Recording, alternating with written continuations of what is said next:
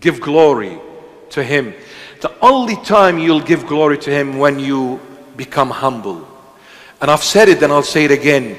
Humility, the beginning to humility, the first step in the way to becoming humble is when we begin to see our hearts the, the way God sees it.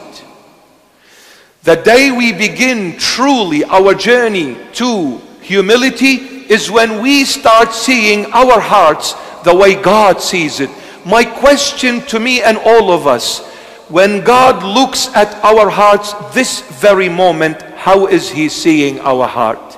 What is in there? Is there pride?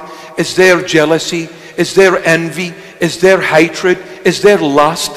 What is in there? When you start seeing your heart the way God sees it, this is your beginning in your journey to becoming humble. That's a beginning. And the Lord said it. It is not what goes through the man's, man's mouth that defiles that man. It is what comes out out of the man is what defiles the man. What comes out of the heart, for every evil comes out of the heart of men. Every evil.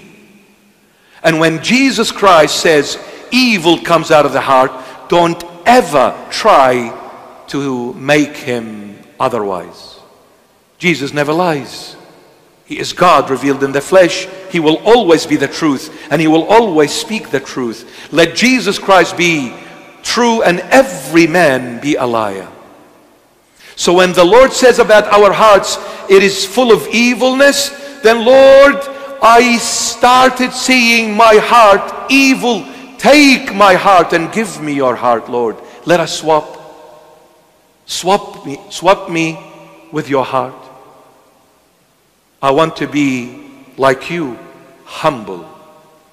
Give glory by lowering and humbling yourself before the Almighty God, who is Jesus Christ of Nazareth.